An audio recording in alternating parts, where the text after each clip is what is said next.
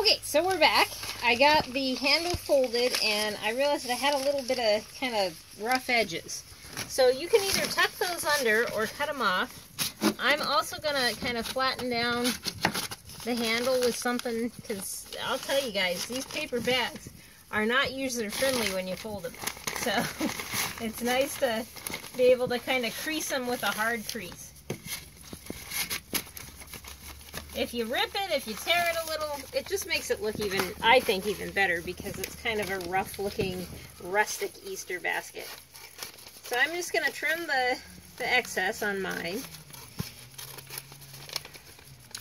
You know, and while, while I was getting the um, holes into the basket for the handle here, by the way, it's not easy unless you have a paper punch or a really sharp knife. Scissors don't make very good holes in these.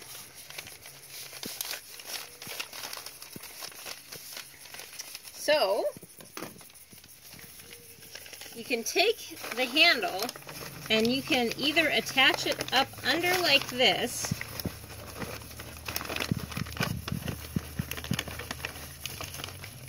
so it kind of comes around, which is probably what I'm going to do, which means more difficult holes to cut, honestly, but it's okay. I mean, it, to me, it's totally worth it, and it's really cute.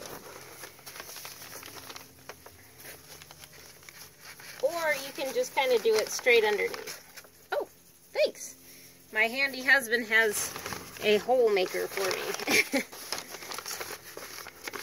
so you kind of roughly try and line them up.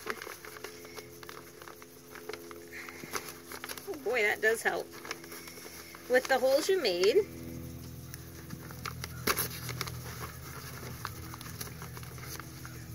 And then I like to use raffia, but I don't have any raffia right now. It's kind of the crepe papery sort of natural looking stuff that you can get at Joann's. But right now I have some cotton yarn that's very colorful. And I'm going to do that. So you can kind of eyeball it with the holes. And this is kind of one of the tougher parts. You gotta get that yarn through those holes. And again, you can glue, glue this underneath so it stays a little bit better if you like.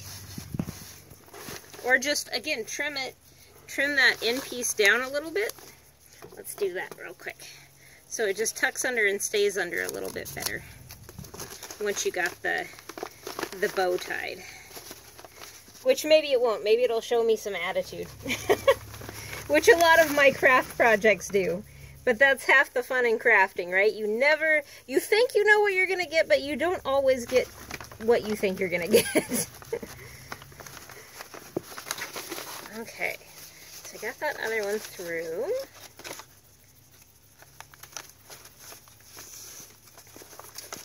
Go. Kind of Again, get that end under there. Get it kind of squared away. Pull your string, raffia, or whatever you're using for your handle bow attachment. Nice and tight. You can double this up to, again, just have fun with it. The nice thing about these is you're making a homemade Easter basket. I mean, that's just a fun craft in my mind. So, I'm going to make that nice and long for me. And then I'm going to do another one and maybe a couple more just to shorten that bow up. Make a really kind of cute little knot there. There we go. It's kind of a floppy one, but again, you get the gist. This is what I have at home at my handy use. Again, raffia is really cute. Or if you want to do like little yarn pom-poms, that'd be really fun. Stuff like that. Just play around with it. So I'm just going to, for now, tuck that other side up. I'll work on that later. Well, we'll deal with it in a second. But so, another fun thing to do with these is to go outside, like the morning before you use your Easter basket, and it gets, before it gets filled by the Easter bunny, or the night before, and you can go out and you can just pick some flowers, some spring flowers that are blooming right now, and you can just tuck it right into that bow. And then again, just fill it up with whatever you have right now. It's it's kind of one of those moments in life where we're using what we got and we're making do with what we got. And the more important thing is you're having fun with your family. You're doing something special. And if you celebrate Easter, you know, this is just something neat to do with the kiddos or with your partner. So have fun with it. There's your little Easter basket. Very simple, very easy, very hopefully fun and Eastery. Thanks, guys.